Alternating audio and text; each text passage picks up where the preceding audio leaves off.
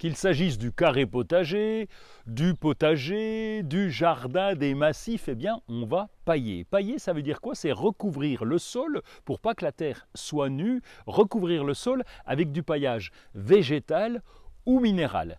Il existe différents types de paillage. Le paillage minéral, comme je vous le disais, avec de la pouzzolane par exemple, qui va limiter le développement des herbes indésirables. Et puis également la paillette d'ardoise qui fait très joli, qui fait une couverture sur le sol au milieu des arbustes. Et puis nous avons aussi du paillage végétal. Ce paillage végétal, c'est la paillette de chanvre comme nous avons ici, qui est parfaite pour le potager. On va la mettre autour des massifs dans le potager.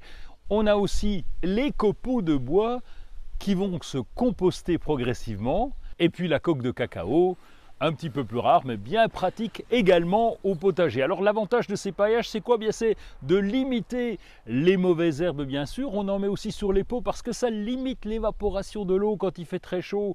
Eh bien, c'est bien pratique. Et puis, c'est très joli, c'est esthétique. Alors pailler, pailler, pailler, pailler dans tous les sens. Pourquoi? Parce que le paillage est indispensable, en particulier Retrouvez tout France Bleu sur francebleu.fr.